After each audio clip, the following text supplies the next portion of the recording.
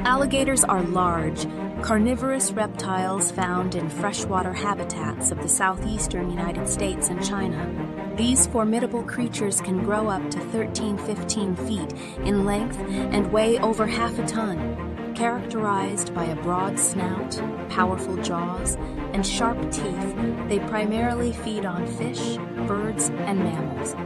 Alligators are semi-aquatic and can move quickly on land and swim efficiently in water. While once endangered, conservation efforts have helped stabilize their populations.